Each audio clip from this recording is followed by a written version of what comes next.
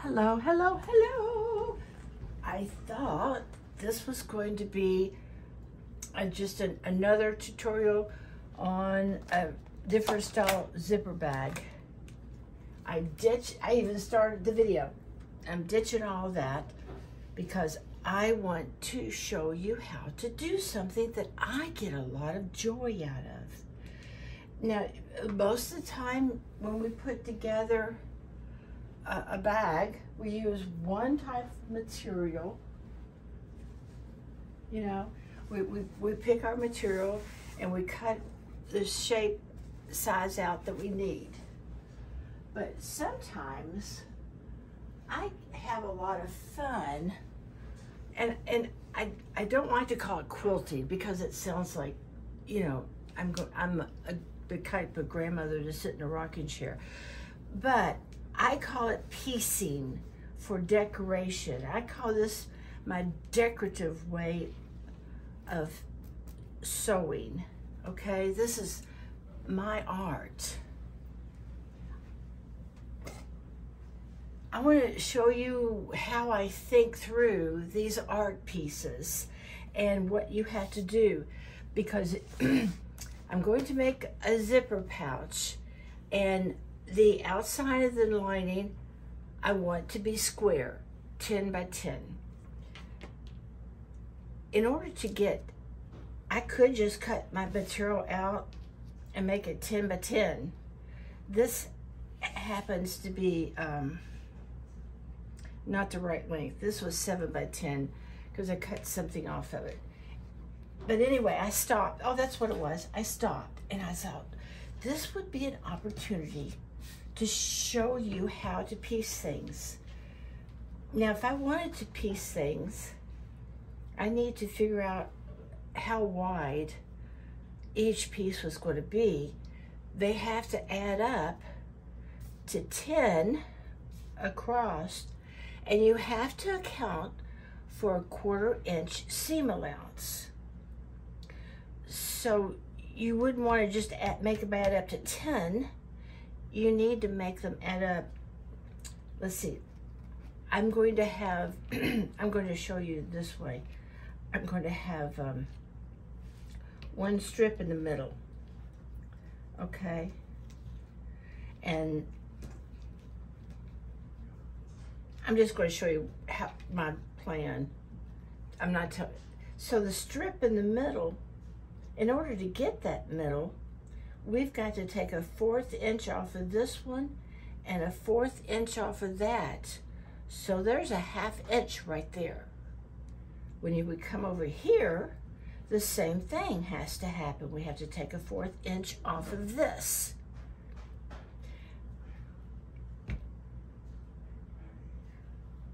So if I want 10 inches, I have to make these total up to 11. All I did was kind of roughly make them about the same size and, and, and I was deciding that one of them had to be smaller. So these two are going to be three and a half inches and this one's going to be three inches because I don't want it to be the dominant. I want this to be dominant. Okay? Um, so we have the pieces. Now we have to piece them together, but I haven't cut my, my, I haven't cut my yellow. The re, this, these are already lined. I would not have done this ahead of time if I knew I was going to do what I'm about to do now. And I'll show you why I wouldn't have done it. But we're going to go on with it anyway. Ah, I need my, I got this out of my way. And I need my roller, rotary cutter. A rotary cutter. Calling all rotary cutters. I'm, I'm glad he wasn't mechanic, I mean, on a motor and he could have come at me. Let's see. Also, I have to have it 10, 10 inches long, and this is piece is already 10 inches tall. So I've got to make this three inches. let me double check. yeah, three inches. Okay, right here and here and lined up just perfectly. I'm going to come over.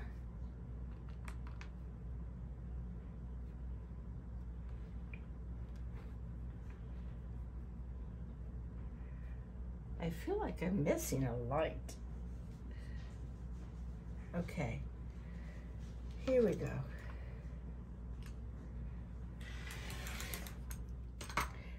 I almost have cabin fever, people. We haven't been snowed in, but it's been too cold to venture out. Since I'm going to have a front and back, and I've already cut these off, I'm I'm going to go and look. See, it's already when I cut. Oh, this, this is what I cut. Okay, here. I got to cut three inches off of this one. I don't know what I'm going to do with that extra piece, but I hate to be wasting this material because it is absolutely beautiful. So the important thing that I wanted to teach you in this video was that when you're putting your, adding up your inches, remember that you have to have a fourth of an inch for each side. Don't worry about the outside because on these, don't worry about this because we've already figured our quarter inch seam allowance on that. And the top and bottom has been figured. So everything's the same. So I'm going to, I'm going to construct two of these. Okay? There we go. Now, when you piece things like this together, of course, I think you know that you lay top side, right sides together and you sew. Course, once that's done, so I'm going to take all three pieces and you want to make sure that you keep your cat faces pointing the same way. To make sure that these are lined up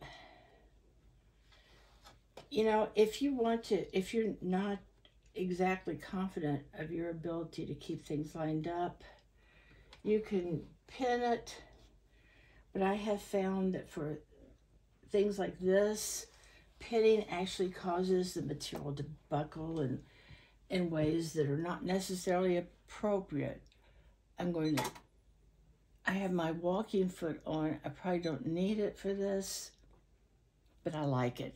I really like the professional look the walking foot gives your stitches. Nobody's going to see this stitch. I'm arguing with myself. Here we go. Let's quit arguing and let's get to sewing. You're not going to see these stitches. Don't argue with me. What was that?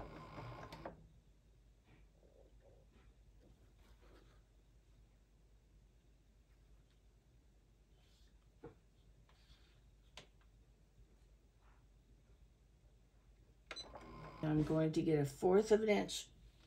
Oh my goodness. All right, uh, something scared me, but I'm okay now.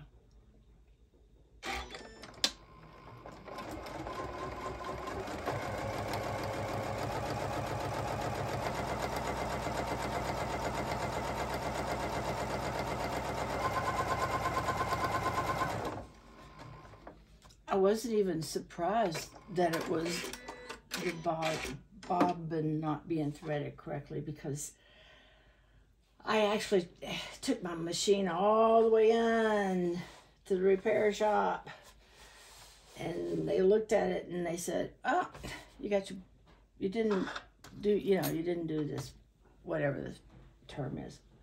All right, making sure my kitty cats are both standing up in the right direction I'm going to lay this one on the other side.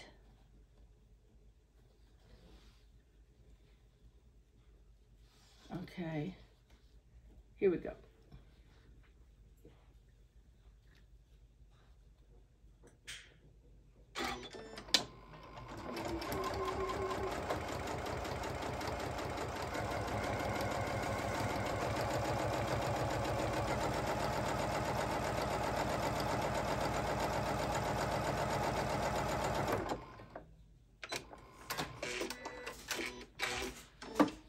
Here's where I tell you why I wish I had not put the backing. See, at this point, we would be spreading this um, diff, really stiff, spreading this material, the seam, just like this. Okay, I would be spreading this seam like this, and then we would lay the backing over it. I mean, I would I would iron this, and then we'd lay the backing over it, and you wouldn't even really see it. It would be all flattened. But now it's like I didn't do it. So, but that's okay. Uh, I'm going to take it over there and, and iron it. And this is how we're going to do our panels. Okay. I got to do the other side. That that is it for this segment because I um I wanted to make this a standalone. Okay, so I'm gonna I'm gonna make this a standalone, but I want to come right back with you the rest of it. Okay, hold on. I mean, don't hold on. Like and subscribe. That's what I need you to do. And remember, keep the commandments and be the bride. I love you.